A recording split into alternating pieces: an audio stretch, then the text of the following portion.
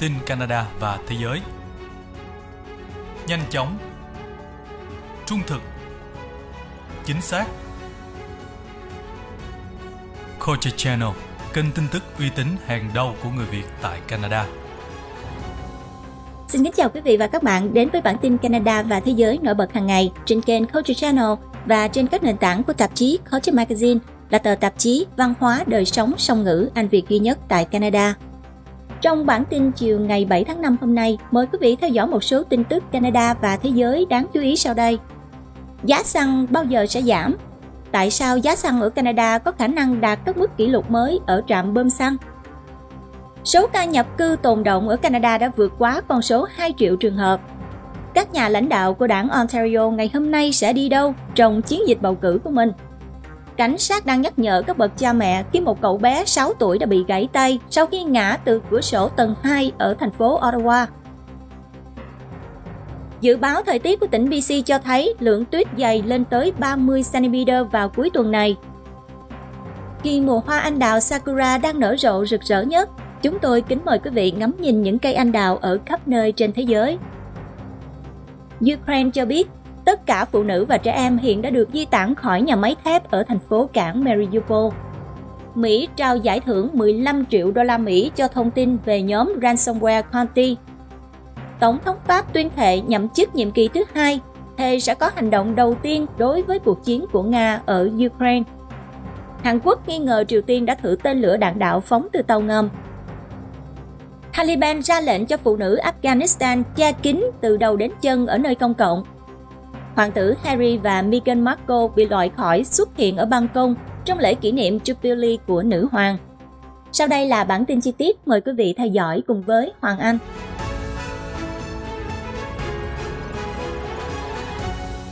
Giá xăng bao giờ sẽ giảm và tại sao giá xăng ở Canada có khả năng lại đạt các kỷ lục mới ở trạm bơm?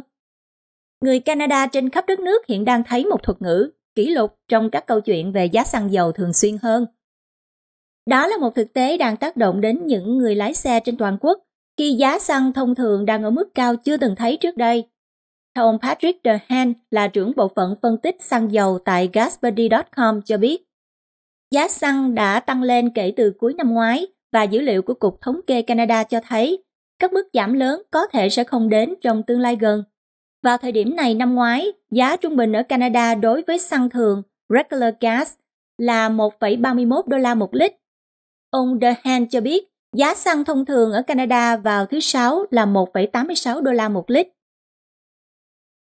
Giá xăng bắt đầu tăng ở Canada bắt đầu từ tháng 12, khi giá xăng thường trung bình là 1,40 đô la mỗi một lít. Vào tháng 3, một tháng sau cuộc chiến tranh Ukraine của Nga, giá trung bình cho xăng thường là 1,75 đô la một lít, tăng từ 1,56 đô la một lít vào tháng 2. Giá trung bình cho tháng 4 vẫn chưa có sẵn. Được biết, giá xăng thường khác nhau trên toàn quốc. Tại tỉnh British Columbia, tức là tỉnh BC, vào thứ Sáu, giá xăng thường trung bình là 2,02 đô la một lít. Vào thứ Tư, tại Metro Vancouver, giá tại các máy bơm xăng là 2,11 đô la một lít. Còn tỉnh Newfoundland chứng kiến mức giá cao nhất tại các máy bơm xăng vào thứ Sáu với mức trung bình là 2,06 đô la một lít Ngược lại, ở tỉnh Alberta đã có giá xăng rẻ nhất với 1 đô la 60 cent mỗi một lít. Đại dịch COVID-19 đã thay đổi thói quen lái xe khi các đợt đóng cửa buộc người dân phải ở nhà và đi lại ít hơn. Các nhà sản xuất dầu đã cắt giảm sản lượng từ rất sớm trong trận đại dịch để đáp ứng nhu cầu thấp, nhưng đã gặp khó khăn trong việc theo kịp khi nhịp sống trở lại như cũ. Ngoài ra thì cuộc chiến của Nga và Ukraine cũng đã khiến giá xăng dầu cao lên ngất ngưỡng. Về tình hình nhập cư tại Canada, Canada tiếp tục là một trong những điểm đến hàng đầu của người nhập cư trên thế giới. Nhưng lượng hồ sơ tồn động ngày càng gia tăng, thời gian xử lý rườm rà và tình trạng thiếu giao tiếp và thiếu minh bạch đang gây ra sự thất vọng ngày càng lớn cho những người đang tìm kiếm giấc mơ Canada của họ. Theo dữ liệu của Cơ quan nhập cư, người tị nạn và quốc tịch Canada, gọi tắt là IRCC, lượng hồ sơ tồn động đã tăng lên hơn 2 triệu đơn trên tất cả các hạng mục trong tháng 4 so với 1,8 triệu vào tháng 3. Khi COVID-19 lần đầu xuất hiện, cơ quan IRCC đã đóng cửa nhiều văn phòng trực tiếp và hủy bỏ các cuộc phỏng vấn các buổi lễ nhập tịch và các cuộc hẹn khác, trong khi nhân viên của họ chuyển sang làm việc tại nhà. Ngoài ra thì chính phủ liên bang đã giới thiệu các chương trình nhập cư mới và các chương trình này đang làm tồi tệ hơn tình trạng tồn động hồ sơ vốn có. Trong chiến dịch tranh cử ở tỉnh Ontario, các nhà lãnh đạo của tỉnh ngày hôm nay sẽ đi đâu và làm gì? Tất cả bốn lãnh đạo đảng của tỉnh Ontario sẽ bắt đầu ngày thứ tư của chiến dịch bầu cử với một thông báo lớn về nền tảng bầu cử của họ. Đảng Tự do sẽ dừng chân ở thành phố thủ đô Ottawa, Kingston và sau đó là Toronto, trong khi đảng xanh sẽ dành cả ngày ở thành phố Guelph. Đảng bảo thủ cấp tiến thì sẽ có mặt ở Sault Ste. Marie và đảng NDP sẽ ở Bowmanville. Đây là nơi các nhà lãnh đạo sẽ ở vào ngày 7 tháng 5. Lãnh đạo đảng bảo thủ cấp tiến, thủ hiến đất Ford sẽ đến South St. Mary vào 9 giờ 30 sáng. Lãnh tụ đảng tự do là ông Stephen Del Duca vào 10 giờ 30 sáng đưa ra thông báo về nền tảng ở Ottawa. 2 giờ 30 chiều sẽ tới thăm Science Rendezvous ở Kingston. 3 giờ 10 chiều thăm chợ nông sản ở Kingston và 6 giờ 30 chiều sẽ tham gia cuộc gặp gỡ và chào hỏi với những người ủng hộ ở Toronto. Lãnh đạo đảng xanh Michael Steiner 8 giờ 30 sáng đến thăm chợ nông sản ở Guelph. 10 giờ sáng ở thành phố Guelph, 5 giờ 30 chiều tham dự dạ tiệc của Hiệp hội các nhà xây dựng tại thành phố Guelph. Còn lãnh đạo đảng NDP, bà Andrea Horwath, 9 giờ 30 sáng công bố kế hoạch giảm hóa đơn điện nước và giảm lượng khí thải ở Bowmanville. 10 giờ 30 sáng, bà tham dự Bowmanville Maple Fest. Thưa quý vị, ờ, trong hôm thứ Năm đánh dấu Ngày Mật khẩu Thế giới và một cuộc khảo sát mới đã phát hiện ra rằng những mật khẩu mà nhiều người dùng Internet trong chúng ta hay sử dụng không có tính bảo mật đủ cao để bảo vệ họ khỏi các tin tặc hackers. Nhiều người có thói quen sử dụng một mật khẩu cho nhiều tài khoản khác nhau và đó là điều mà bọn tội phạm mạng đang hy vọng. Theo công ty bảo mật di động Lookout, có 5 mật khẩu sau đây thường bị tấn công nhiều nhất. Thứ nhất là chúng ta hay sử dụng mật khẩu có giải số 123456 hoặc là giải số 1234567789 hoặc là chữ QWERTY à, được đánh vần là QWERTY hoặc sử dụng từ password cho mật khẩu của mình hoặc là giải số 12345 Mật khẩu mạnh phải có các chữ cái viết hoa, viết thường và các ký hiệu. Nó không nên được sử dụng cho nhiều tài khoản khác nhau. Nếu bạn có nhiều mật khẩu khác nhau, có thể khó nhớ hết chúng và đó là lúc một ứng dụng quản lý mật khẩu có thể hữu ích. Một số cách khác để bảo vệ mật khẩu của bạn là sử dụng mật khẩu dài hơn và mạnh hơn, đề phòng các liên kết đáng ngờ và luôn sử dụng phần mềm bảo mật chống virus. Ngoài ra, điều quan trọng là phải cẩn thận với những gì bạn đang chia sẻ trên mạng xã hội vì tin tặc luôn tìm kiếm manh mối của mật khẩu, chẳng hạn như là tên của trẻ em hoặc là vật nuôi. Thưa quý vị, chúng ta đang ở trong mùa xuân và cảnh sát đang nhắc nhở các bậc cha mẹ và người giám hộ đề phòng khu vực cửa sổ vào mùa xuân này sau khi một cậu bé 6 tuổi đã rơi từ cửa sổ tầng 2 vào đầu tuần này ở thành phố Ottawa. Các đội khẩn cấp đã phản ứng với sự việc xảy ra trên đường baseline gần Navajo Drive ngay sau 7 giờ tối Chủ nhật. Cảnh sát cho biết cậu bé đã rơi từ cửa sổ tầng 2 xuống và bị gãy tay. Với dự báo thời tiết ấm hơn và khả năng nhiều gia đình mở cửa sổ, cảnh sát cảnh báo có những nguy cơ trẻ em có thể ngã từ trên cao xuống. Dưới đây là một số tips để giữ an toàn cho trẻ em khi ở gần các cửa sổ đang mở đó là luôn khóa cửa sổ khi bạn không thể giám sát trẻ nhỏ xung quanh khu vực này. Hãy cài đặt các tấm chắn cửa sổ. Di chuyển đồ đạc ra xa khỏi cửa sổ vì có nhiều tai nạn khi đặt đồ đạc gần cửa sổ. Tháo các tay quay khỏi cửa sổ mà có thể mở quay để ngăn trẻ em mở chúng. Trong bản tin liên quan đến thời tiết, các cư dân ở tỉnh BC có lẽ là hơi thất vọng về à, thời tiết mùa xuân này Thời tiết ở tỉnh BC vào mùa xuân này không quá thuận lợi và thậm chí là có khả năng trở nên tồi tệ hơn với dự báo có tuyết cho các khu vực của tỉnh. Đây không chỉ là một đợt tuyết rơi nhẹ vì dự đoán có thể lên tới 30 cm. Nắng xuân đang tạm rời xa người dân ở tỉnh British Columbia với nhiệt độ lạnh hơn bình thường và dự kiến sẽ có mưa lớn ở thành phố Vancouver và xung quanh tỉnh vào cuối tuần này. Lượng tuyết lớn này có thể được thấy ở một số khu vực West Coast vào cuối tuần này do một hệ thống thời tiết mạnh. Ở các độ cao, cao hơn ở bờ biển phía nam của tỉnh BC, nhiệt độ có thể sẽ xuống dưới mức đóng băng. Đối với những nơi có độ cao thấp hơn như là Vancouver, sẽ có mưa lớn nhưng không có tuyết. Dự đoán rằng lượng mưa ở những khu vực này sẽ rất đáng kể và một số nơi có thể thấy lượng mưa bằng lượng mưa gần một tháng chỉ trong tuần này. Quý vị nào ở tỉnh bang BC xin hãy chia sẻ với chúng tôi về thời tiết đang như thế nào nhé.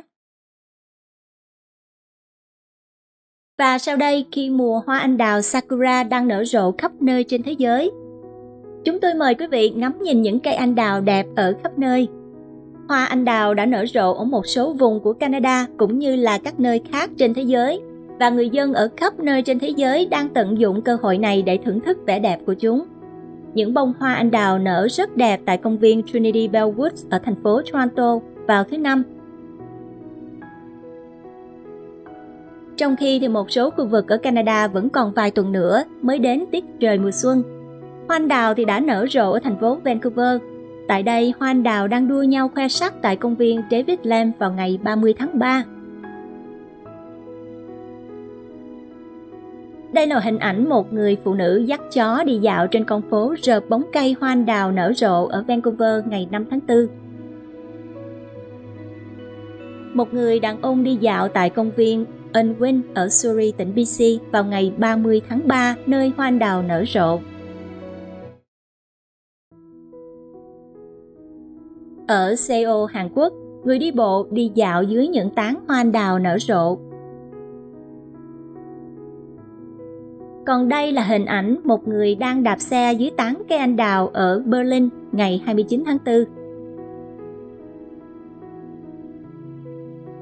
Một người đi xe đạp đang dắt xe qua những tán hoa anh đào tại công viên Unwin ở Surrey, tỉnh BC vào ngày 30 tháng 3.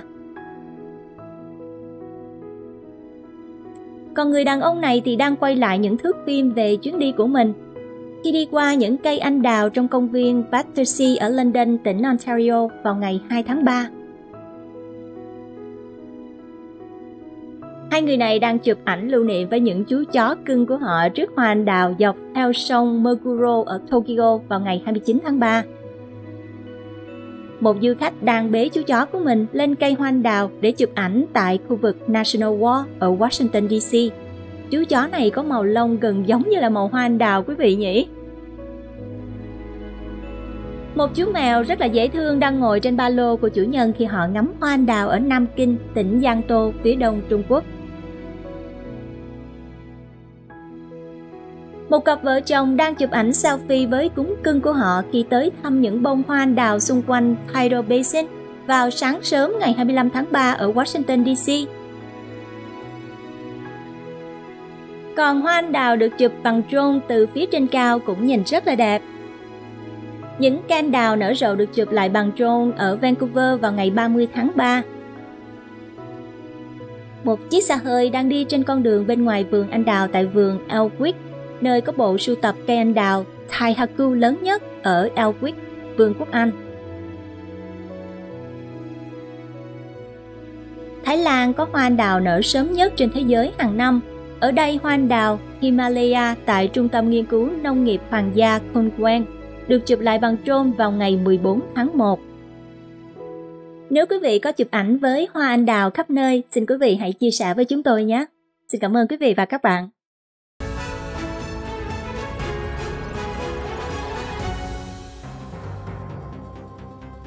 Quý vị và các bạn đang theo dõi bản tin Canada và Thế giới trên kênh Culture Channel và trên các nền tảng của tạp chí Culture Magazine là tờ tạp chí văn hóa đời sống song ngữ Anh Việt duy nhất tại Canada. Chúng tôi kính mời quý vị đăng ký kênh và bật nút chuông thông báo để đón theo dõi những video mới tiếp theo. Để ủng hộ cho chương trình, rất mong quý vị nhớ bấm nút like, chia sẻ phản hồi và chia sẻ video đến cho nhiều người xem. Xin cảm ơn quý vị và các bạn. Tiếp theo trong bản tin, mời quý vị theo dõi một số tin tức thế giới đáng chú ý sau đây. Ukraine cho biết tất cả phụ nữ và trẻ em hiện đã được di tản khỏi nhà máy thép ở Mariupol. Mỹ treo thưởng 15 triệu đô la Mỹ cho thông tin về nhóm ransomware Conti. Tổng thống Pháp tuyên thệ nhậm chức nhiệm kỳ thứ hai, thề sẽ có hành động đầu tiên đối với cuộc chiến của Nga ở Ukraine. Đài Loan hy vọng thế giới sẽ trừng phạt Trung Quốc nếu nước này xâm lược hòn đảo. Hàn Quốc nghi ngờ Triều Tiên thử tên lửa đạn đạo phóng từ tàu ngầm. Taliban ra lệnh cho phụ nữ Afghanistan che kín từ đầu đến chân ở nơi công cộng. Ba người Mỹ được tìm thấy chết một cách bí ẩn tại khu nghỉ dưỡng Sandals ở Bahamas. Một phụ nữ khác nhập viện. Hoàng tử Harry và vợ Meghan Markle bị loại khỏi xuất hiện ở ban công trong lễ kỷ niệm Jubilee của nữ hoàng. Sau đây là bản tin chi tiết, mời quý vị tiếp tục theo dõi cùng với Hoàng Anh. Thưa quý vị, về tình hình cuộc chiến ở Ukraine, Ukraine cho biết tất cả phụ nữ và trẻ em hiện đã được di tản khỏi nhà máy thép ở Mariupol.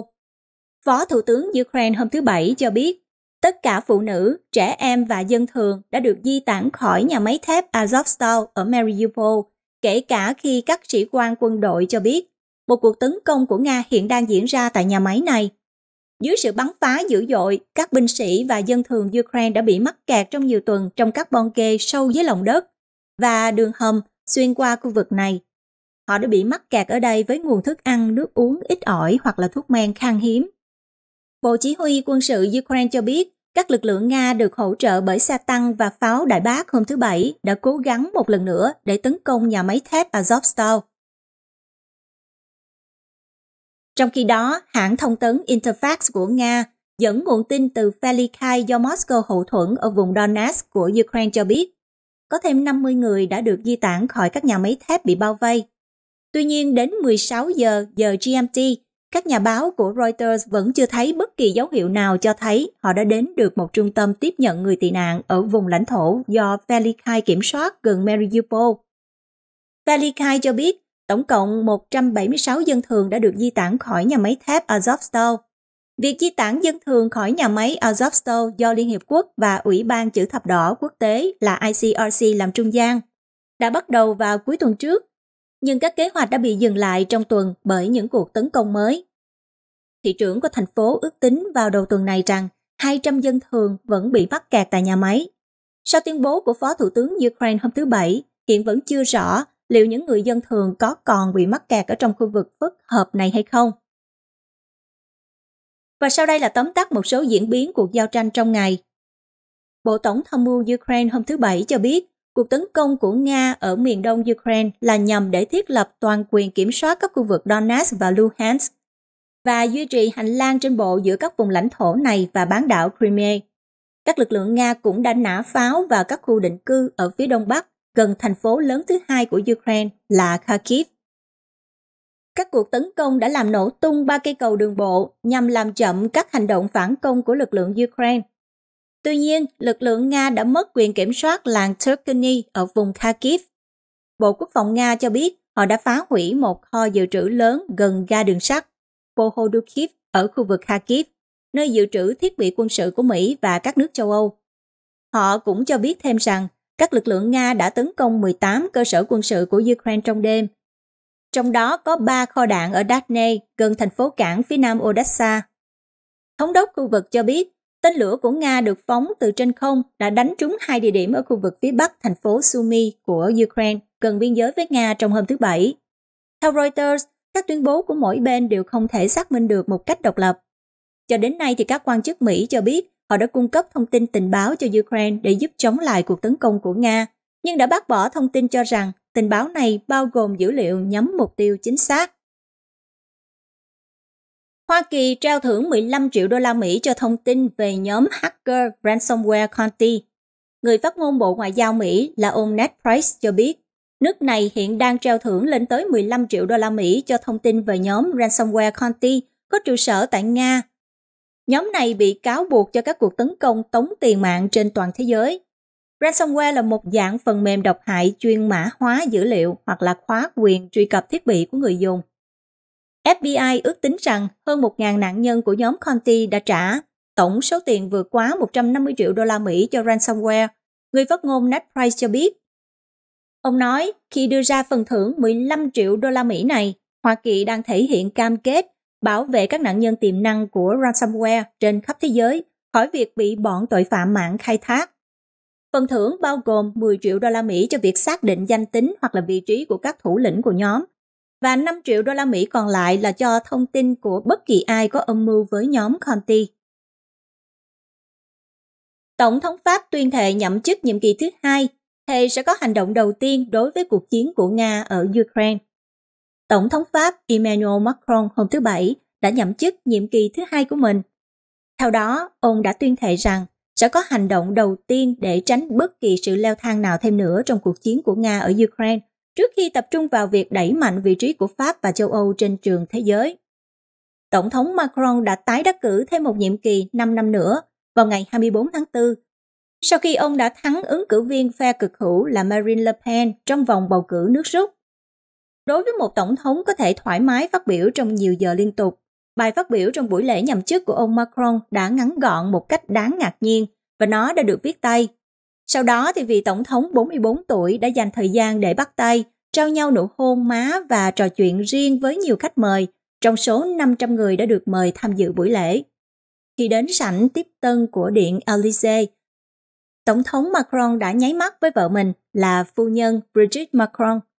Sau đó, ông đi đến các khu vườn của cung điện Elysee và lắng nghe 21 phát đại bác được bắn từ quảng trường Invalid để đánh dấu sự kiện này theo truyền thống. Nhiệm kỳ thứ hai của Tổng thống Macron sẽ chính thức bắt đầu vào ngày 14 tháng 5 sắp tới. Liên quan đến Đài Loan và Trung Quốc, Đài Loan hy vọng thế giới sẽ trừng phạt Trung Quốc nếu nước này xâm lược hòn đảo. Bộ trưởng Ngoại giao Joseph Wu hôm thứ Bảy cho biết Đài Loan hy vọng rằng thế giới sẽ trừng phạt Trung Quốc giống như đang trừng phạt Nga về cuộc chiến với Ukraine nếu Bắc Kinh xâm lược hòn đảo này. Đài Loan đã tham gia vào các lệnh trừng phạt do phương Tây dẫn đầu đối với Nga vì cuộc xâm lược Ukraine và trong hôm thứ Sáu, họ đã thêm Belarus vào danh sách đó. Phát biểu với các phóng viên ở Đài Bắc tại một sự kiện đánh dấu sự thành lập của Liên minh châu Âu, ông Wu nói rằng Điều quan trọng là phải sát cánh cùng những nước khác để lên án cuộc xâm lược và trừng phạt cả Nga và Belarus. Đài Loan đã nâng mức cảnh báo kể từ khi cuộc chiến Ukraine bắt đầu, cảnh giác với việc Trung Quốc có động thái tương tự, mặc dù chính quyền Đài Bắc không thông báo có các dấu hiệu cho thấy một cuộc tấn công sắp xảy ra của Trung Quốc.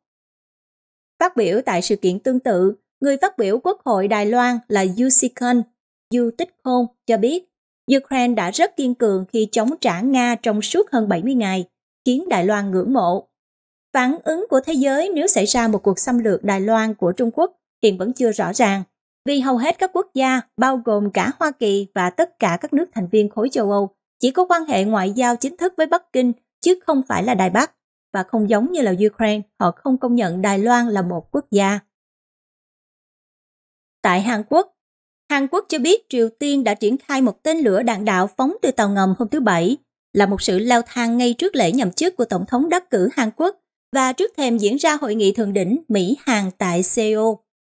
Quân đội Hàn Quốc cho biết Triều Tiên đã phóng một vật thể được cho là tên lửa đạn đạo phóng từ tàu ngầm SLBM, được khai hỏa từ thành phố cảng miền đông Sinpo, nơi Triều Tiên cất giữ tàu ngầm cũng như là thiết bị để bắn thử.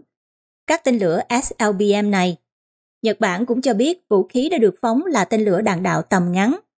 Nhật Bản và Hàn Quốc ước tính tên lửa hôm thứ Bảy đã bay cao tới 50 đến 60 km, tức là từ 30 đến 40 dặm và xa tới 600 km. Vụ phóng mới nhất diễn ra 3 ngày trước lễ nhậm chức của Tổng thống đắc cử Yoon suk yeol dự kiến diễn ra vào hôm thứ Ba, cũng như trước thềm diễn ra hội nghị thượng đỉnh ngày 21 tháng 5 giữa Tổng thống Hàn Quốc với Tổng thống Mỹ Joe Biden tại Seoul. Mỹ đã lên án vụ phóng là mối đe dọa đối với các nước láng giềng của Triều Tiên và thế giới. Một phát ngôn viên của Bộ Ngoại giao Mỹ cho biết, nước này vẫn cam kết cứng rắn trong việc bảo vệ đồng minh Nhật-Hàn. Ở một diễn biến có liên quan khác, trong một cuộc phỏng vấn với VOA được công bố hôm thứ Bảy, Tổng thống đắc cử Hàn Quốc đã cho rằng một cuộc gặp với lãnh đạo Triều Tiên là không thể tránh khỏi, nhưng cuộc gặp đó cần phải có được kết quả cụ thể. Tại Afghanistan, Taliban đã ra lệnh cho phụ nữ Afghanistan che kín từ đầu đến chân ở nơi công cộng. Các nhà cầm quyền Taliban của Afghanistan hôm thứ Bảy đã ra sắc lệnh yêu cầu tất cả phụ nữ Afghanistan phải mặc quần áo trùm kín từ đầu đến chân ở nơi công cộng. Sắc lệnh kêu gọi phụ nữ chỉ được để lộ cặp mắt và khuyến cáo họ mặc áo khoác trùm kín từ đầu đến chân đã đưa ra những hạn chế tương tự đối với phụ nữ trong thời kỳ Taliban cầm quyền từ năm 1996 đến 2001. Ngoài ra thì sắc lệnh cũng cho biết thêm rằng nếu phụ nữ không có việc quan trọng bên ngoài thì tốt hơn là họ nên ở nhà. Taliban trước đó cũng đã quyết định không mở lại trường học cho trẻ em gái từ khối lớp 6 trở lên, một tuyên bố cho thấy họ đã không giữ lời hứa trước đó của mình. Quyết định đó đã làm gián đoạn nỗ lực của Taliban nhằm giành được sự công nhận từ các nhà tài trợ quốc tế tiềm năng, đặc biệt là vào thời điểm đất nước đang chìm trong khủng hoảng nhân đạo ngày càng trầm trọng. Kể từ khi nắm quyền, các sắc lệnh của Taliban luôn trong tình thế không ổn định. Trong khi một số ít tỉnh tiếp tục cung cấp giáo dục cho tất cả mọi người, hầu hết các tỉnh khác đều đã đóng cửa các cơ sở giáo dục dành cho trẻ em gái và phụ nữ. Tại thủ đô Kabul, các trường tư thục và đại học hiện vẫn đang hoạt động. Liên quan đến Hoa Kỳ, ba người Mỹ được tìm thấy chết một cách bí ẩn tại khu nghỉ dưỡng Sandals ở Bahamas, một phụ nữ khác nhập viện. Hôm thứ Sáu, hai người đàn ông và một người phụ nữ được cho là đã thiệt mạng tại khu nghỉ mát Sandals Emerald Bay, Bahamas. Cả ba nạn nhân tử vong được xác định là người Mỹ. Trong khi đó, một người phụ nữ khác đã phải nhập viện. Nguyên nhân tử vong và nhập viện của nhóm người này vẫn chưa được xác nhận.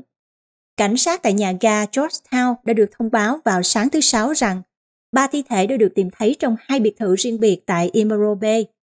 Khi đến hiện trường, họ được dẫn đến căn biệt thự đầu tiên và phát hiện trong phòng ngủ có một người đàn ông da trắng đang nằm trên mặt đất mà không có phản ứng. Các sĩ quan sau đó được dẫn đến biệt thự thứ hai, nơi họ phát hiện một nam da trắng nằm gục vào tường. Trong phòng tắm, một phụ nữ da trắng cũng được tìm thấy trong phòng ngủ trên giường. Cả hai cũng đều không phản ứng nhưng có dấu hiệu co giật. Các sĩ quan đã khám nghiệm cả ba tử thi và họ không tìm thấy dấu hiệu chấn thương. Cũng trong ngày thứ Sáu, quyền thủ tướng Bahamas cho biết trên Twitter rằng có thêm người thứ tư là một phụ nữ hiện đang nằm viện các nhà chức trách cho biết họ sẽ chờ khám nghiệm tử thi để xác định lý do tử vong của những nạn nhân này. Chuyển sang Vương quốc Anh, hoàng tử Harry và vợ Meghan Markle bị loại khỏi xuất hiện ở ban công trong lễ kỷ niệm Jubilee của nữ hoàng. Hoàng tử Harry và phu nhân Meghan Markle không nằm trong số các thành viên hoàng gia được mời, đứng trên ban công, tại cung điện Buckingham trong lễ kỷ niệm Bạch Kim của nữ hoàng Elizabeth đệ nhị vào tháng tới. Các kế hoạch cho lễ kỷ niệm đã được công bố vào thứ Sáu và công tước và nữ công tước xứ Sussex đã không được yêu cầu đứng cùng với quốc vương cho buổi lễ truyền thống khi kết thúc buổi lễ quân đội sắc màu ngày 2 tháng 6. Đánh dấu sinh nhật chính thức của chủ quyền Vương quốc Anh. Con trai của nữ hoàng là hoàng tử Andrew cũng đã bị loại khỏi danh sách mời, theo BBC đưa tin. Người phát ngôn của hoàng gia đã xác nhận Harry và cô Meghan không còn là thành viên làm việc của gia đình vào năm 2020 khi họ tuyên bố sẽ không còn tham gia các nhiệm vụ hoàng gia và chuyển gia đình đến Hoa Kỳ. Còn hoàng tử Andrew đã bị tước danh hiệu Hoàng thân Anh cũng như các nghĩa vụ và sự bảo trợ của hoàng gia vào tháng 1 sau một vụ kiện dân sự liên quan đến mối quan hệ của ông với nhà tài chính quá cố người Mỹ là Jeffrey Epstein. Tuy nhiên, người phát ngôn của hoàng tử Harry và vợ Meghan đã xác nhận rằng Harry và Meghan sẽ thực hiện chuyến đi đến Vương quốc Anh để tham gia lễ hội, mang theo hai con của họ, Archie và Lilibet cùng với họ. Cặp đôi được cho là rất vui mừng và vinh dự khi được tham dự lễ kỷ niệm năm Thánh Bạch Kim của nữ hoàng. Theo CNN, những người được mời đứng trên ban công bao gồm ba người con khác của nữ hoàng là Thái tử Charles, Edward và công chúa Annie, cũng như hoàng tử William và Kate Middleton cùng các con của họ cùng một số người thân khác của hoàng gia. Nữ hoàng, người đã bước sang tuổi 96 vào tháng trước, đã phải vật lộn với các vấn đề về di chuyển trong những tháng gần đây và đã rút khỏi một số sự kiện hoàng gia và ngày càng ủy quyền xuất hiện trước công chúng cho các hoàng gia cấp cao khác bao gồm cả con trai, Thái tử Charles. Cung điện đã xác nhận với một số báo chí rằng nữ hoàng có kế hoạch tham gia các kỷ niệm năm thánh, mặc dù vẫn chưa xác nhận sự kiện nào bà sẽ tham dự các sự kiện này đánh dấu 70 năm trị vì của bà sẽ diễn ra trong kỳ nghỉ kéo dài 4 ngày từ ngày 2 đến ngày 5 tháng 6. Và phần thông tin liên quan đến Hoàng gia Anh cũng đã kết thúc bản tin chiều ngày 7 tháng 5 hôm nay. Rất cảm ơn quý vị và các bạn đã quan tâm theo dõi. Xin kính chúc quý vị và các bạn một cuối tuần vui vẻ và bình an. Hoàng Anh xin kính chào tạm biệt và hẹn gặp lại quý vị trong bản tin tiếp theo.